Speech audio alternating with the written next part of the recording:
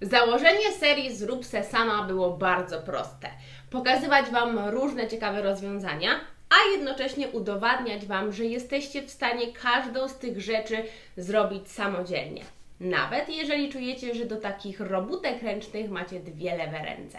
To, co pokażę Wam dzisiaj, odmieni Wasze życie. No dobra, trochę przesadzam, przyznaję. Ale jak same za chwilę się przekonacie, uniwersalność tego pomysłu sprawi, że bardzo często będziecie do niego wracać i to z różnych okazji.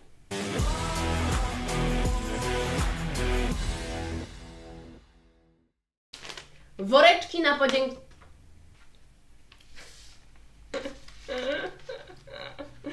Kocham to. Papierowe woreczki, miliona zastosowań, bo to o nich właśnie dzisiaj będziemy mówić. To jedno z najprostszych pomysłów, jakie pokażę Wam w cyklu Zrób se sama. I naprawdę, nie ściemniając, ewentualnie troszkę przesadzając, kiedy poznałam przepis na to, jak zrobić te papierowe woreczki, to odmieniło się moje życie.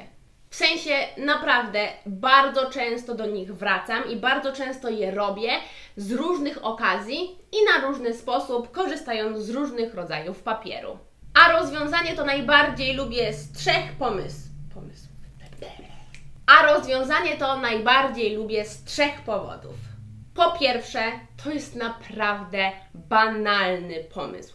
Każdy głupi to potrafi. Każdy, po prostu, bez wyjątków. A ta prostota objawia się też w tym, że tutaj nie musicie niczego mierzyć. E, każdy woreczek tak naprawdę może być w innym rozmiarze. Możecie gdzieś tam krzywo uciąć, a to i tak zatuszujemy po prostu klejąc w tym miejscu. Dzięki temu, jak same się przekonacie, możecie sobie odpalić serial na Netflixie, przygotować potrzebne rzeczy i po prostu taśmowo składać, sklejać i gotowe. Zaręczam, że jak po raz pierwszy usiądziecie do tych woreczków, to skupiać będziecie się tylko na jakichś, nie wiem, pierwszych trzech, a potem po prostu przed oczami serial, a tutaj będziecie tylko zerkać w takich momentach najbardziej newralgicznych, gdzie tam trzeba podkleić czy zgiąć. Drugi powód. Można zrobić je naprawdę z każdego rodzaju papieru. To może być zwykła kartka ksero, to może być papier prezentowy pakowy, Tutaj też mam taki prezentowy pakowy. E, to może być po prostu kartka z kolorowego albo jakiegokolwiek innego papieru, bloku, wiecie, albo technicznego, albo zwykłego po prostu bloku rysunkowego. E, I na potrzeby dzisiejszego odcinka po raz pierwszy zrobiłam też e, woreczek z takiego grubszego papieru. To jest gramatura 250, więc naprawdę gruba. I już też mogę śmiało powiedzieć, że da się to zrobić. Teraz po raz pierwszy rozkładam.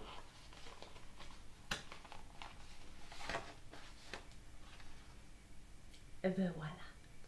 Jednak w przypadku takiego twardego papieru, taki zwykły klej yy, może się nie sprawdzić. Mi się to skleiło, yy, ale bardzo długo musiałam przytrzymywać, bo jednak papier jest po prostu sztywny i łatwiej odchodzi. Zdecydowanie yy, łatwiej jest to robić na cienkim papierze, E, bo taki duży papier po prostu trochę więcej precyzji od nas wymaga, e, no i trochę lepszego kleju. Ale w każdym razie da się to zrobić też z grubego papieru gramatura 250. Inne woreczki oczywiście też się w ten sam sposób otwierają e, i raczej są stabilne. Oczywiście to, to zależy od wielu czynników, od papieru, od tego jak to skleicie, e, ale generalnie po pierwsze one wcale nie, nie muszą stać, one bardzo fajnie wyglądają w koszyczku. Tutaj Wam teraz pokazuję zdjęcie jak to e, wyglądało na urodzinach mojego Florka, więc naprawdę kompletnie nie przejmujcie się tym, czy one są równe, czy one stoją, nie muszą stać i tak będą robić fajne wrażenie. I ostatnia rzecz, którą w tym pomyśle uwielbiam, to uniwersalność. Naprawdę te woreczki możecie wykorzystać na milion sposobów. E, to może być opakowanie na świąteczny prezent, możecie tam włożyć gotówkę albo jakiś voucher prezentowy. E, to może być woreczek na cukierki na urodzinach Waszego dziecka. E, to może być na przykład woreczek to może być na przykład woreczek e, na jakieś firmowe cukierki dla Waszych kontrahentów. A możecie też zrobić woreczek naprawdę w takim dużym formacie i schować tam na przykład kredki i kolorowankę, a następnie położyć to na stoliku dla dzieci na Waszym weselu.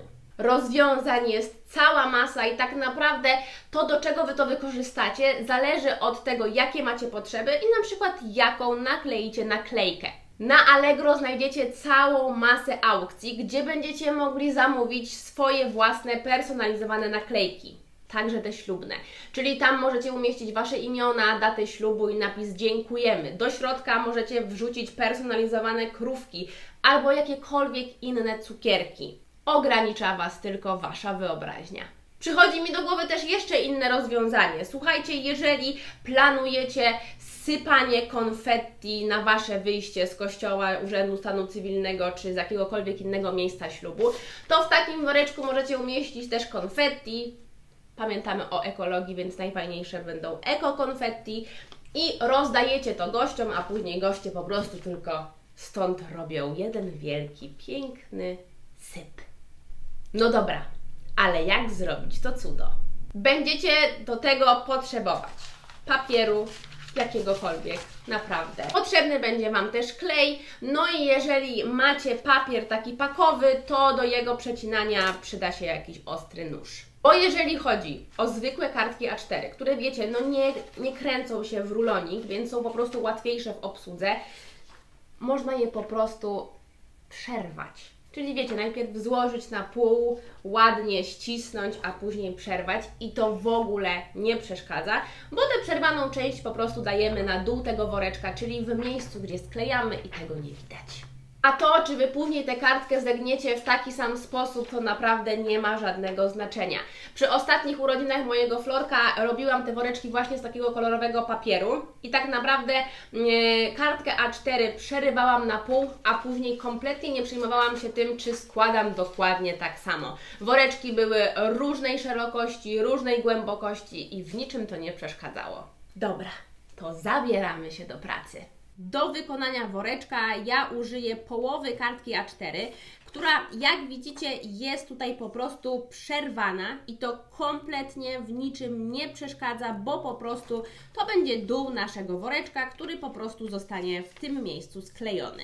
Kartkę składamy naprawdę w dowolny sposób, byleby te dwa końce na siebie w jakikolwiek sposób nachodziły. Nawet jeżeli nam coś się krzywo złoży, to naprawdę ostatecznie w ogóle nie będzie tego widać.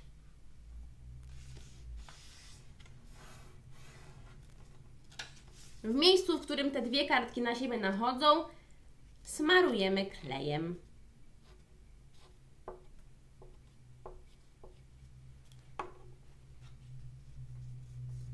Ściskamy i jeżeli robimy to na cienkim papierze, to nawet nie musimy tego odkładać do odczekania, do porządnego sklejenia, bo wystarczy kilka razy przelecieć mocniej palcem i to już będzie porządnie sklejone. Natomiast w przypadku takiego grubszego papieru, to tam naprawdę e, radzę na dłużej to odłożyć. Następnie składamy na samym końcu, też obojętnie jak, Pamiętajcie, że po prostu to będzie wysokość Waszego woreczka, więc po prostu dobrze, żeby nie było to złożone gdzieś na pół, tylko po prostu mniej więcej w taki sposób. Następnie otwieramy i składamy w ten sposób. Tutaj raczej staramy się, żeby ta linia była równa z tą linią, ale już też wielokrotnie zdarzyło mi się, że przez przypadek złożyło mi się krzywo i ostatecznie to w ogóle nie jest żaden problem. I po drugiej stronie robimy to samo. I nasza kartka w tym momencie wygląda tak. Co dalej? Dalej musimy złożyć te dwa końce i też w taki sposób, żeby na siebie nachodziły. I to już jest właściwie koniec. Teraz trzeba tylko wziąć klej i podkleić w miejscach styku.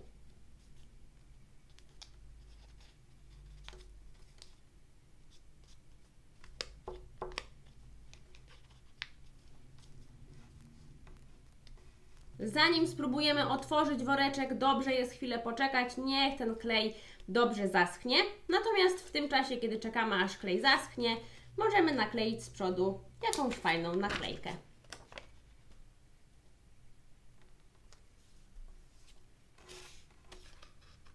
Nasz woreczek jest gotowy. Żeby nie było wątpliwości, można go rozłożyć ale tak jak mówiłam wcześniej, wcale nie trzeba.